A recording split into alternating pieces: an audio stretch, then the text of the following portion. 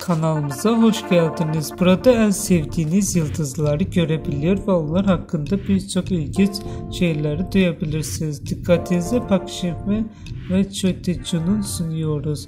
Co 1 Ağustos 2019 yılında Ban Ki-yong Küçük ile birlikte askerlik hizmetine başladı ve sağlık sorunları nedeniyle devlet memuru olarak görev yaptı. 18 Mayıs 2021 tarihinde görevden alındı. 23 Kasım 2021 yılında Park'ın hamile olduğu ve ikisinin de düğün hazırlıkları yaptığı açıklandı.